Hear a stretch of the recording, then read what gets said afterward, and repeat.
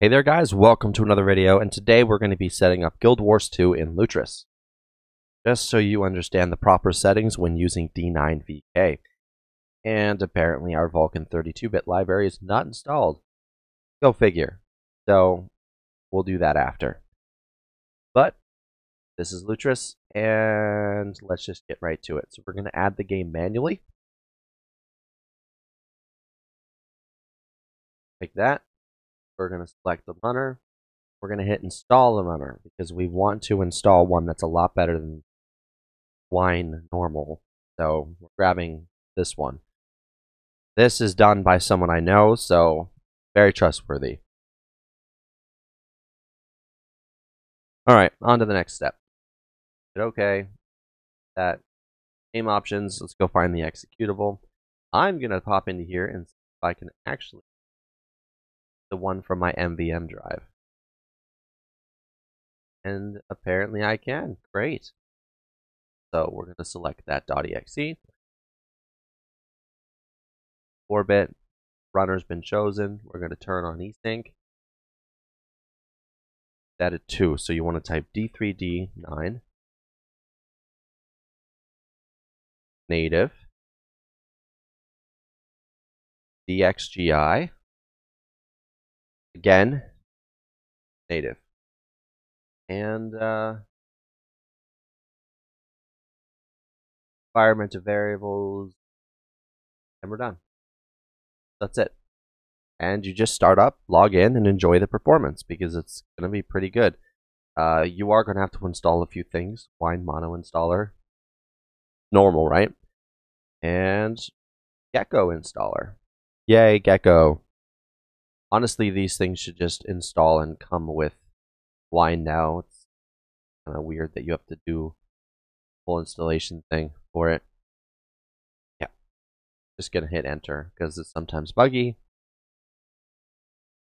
And after that, play. And the Guild Wars 2 thing's gonna pop up. And I totally just moved all of my video. Wow. Alright, so there we go. So I'm going to log in real quick. Put this on the other half of the window.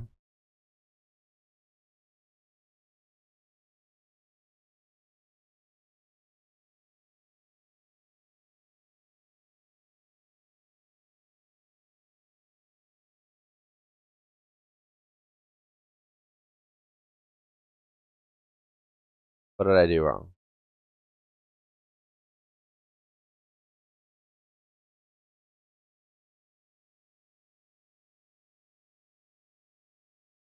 All right.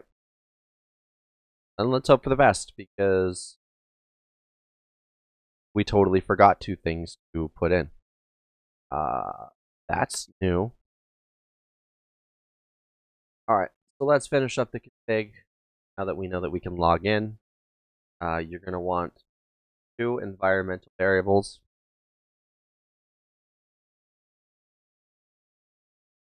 So this is the HUD. Set this to 1. And for best performance,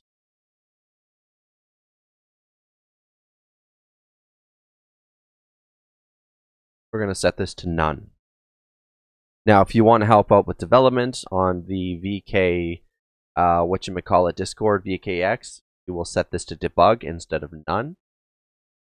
And yeah, we should actually be good to go now. And it's always going to pop up on the other screen, isn't it?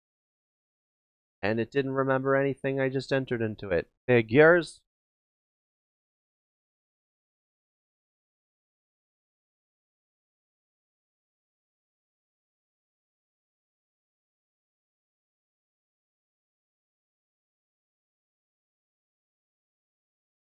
And right.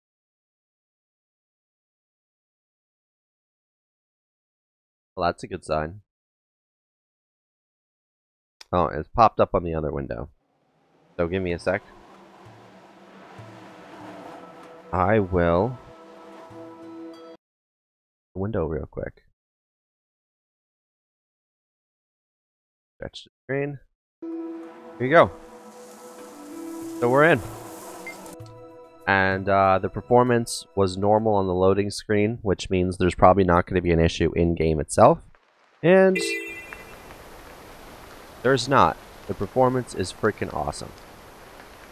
And I didn't I'm a little early on my daily. Where the hell am I? Oh yeah, I'm at that mastery point. Okay. Wagons. Excellent. Interesting. But it won't let me. Okay, so that's the setup. That's honestly going to get you the best performance. And, um, yeah, you should be enjoying some mad FPS with D9VK. Uh, this is just an easy setup with Lutris. You're not going to need any of those wiki commands anymore for wine. Those are all useless and they will fuck your performance over. Anyway, guys, thanks for watching. I hope you uh, enjoyed the video and had a good day.